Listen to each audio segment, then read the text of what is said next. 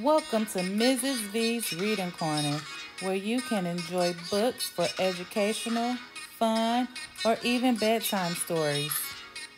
Please take the time to like this video, comment below with how you enjoyed it, book suggestions, and more. And don't forget to subscribe to my channel to get all the new books that I post first. Simple Machines by Allan Fowler. How do simple machines help us? We use machines every day. Machines help make our lives easier. Some machines, such as lawnmowers and vacuum cleaners, have many parts. Other machines have few parts. They are called simple machines. Levers, incline plane, wheels and axles, and pulleys are four kinds of simple machines. These everyday things are simple machines. This bottle opener is a kind of lever. It helps you remove the cap from a bottle. Some levers help you move a heavy object such as a rock.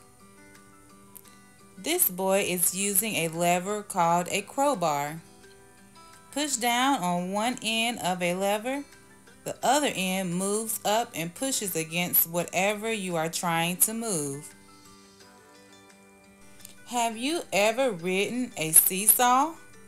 A seesaw is a kind of lever. One side goes up while the other side goes down. Inclined planes are all around you. A plane is just a flat surface, like a wooden board. An inclined plane is a flat surface that is slanted. Ramps are inclined planes. It is easier to push a big load up a ramp than to lift it. A wedge is another kind of inclined plane. A wedge can help you cut wood.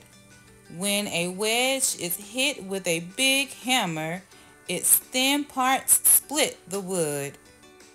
Wheels help things go. An axle or rod connects a pair of wheels. The axle helps the wheels turn. Wheels are on bicycles and cars. It would be very hard to move a bike or car without wheels. A pulley helps you lift heavy objects. A pulley's rope passes over a small wheel, pulls down on one end of the rope. You can lift a very heavy load tied to the other end. A pulley can help you raise and lower a flag on a flagpole. You can even lift the sail on a boat using a pulley. These children are using two types of simple machines. A wheelbarrow is a kind of lever and it has wheels. Have you used any simple machines today? The end.